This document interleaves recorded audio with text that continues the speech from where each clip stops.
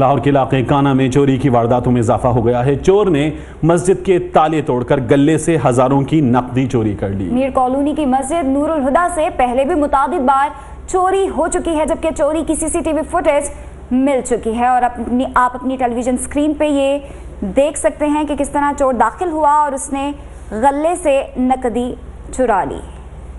لاہور کے علاقے کہنا میں یہ واقعہ پیش آیا ہے اس علاقے میں چوری کی وارداتیں بڑھی ہیں لیکن یہاں پر حالیہ واردات جو ہم آپ کو دکھا رہے ہیں اس میں مسجد کے گلے سے نقدی چوری کی گئی ہے اور اس مسجد میں یہ واقعہ اس سے پہلے بھی پیش آیا ہے